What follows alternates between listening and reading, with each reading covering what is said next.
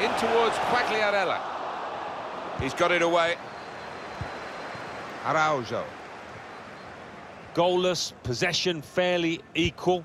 Just need one of these teams to take a bit of a chance, bit of a gamble, commit one or two more men forward in the uh, hope of getting a goal. Must take the lead here, which they do in good style. Uh, they played some good football leading up to that, Martin, and thoroughly deserved that goal.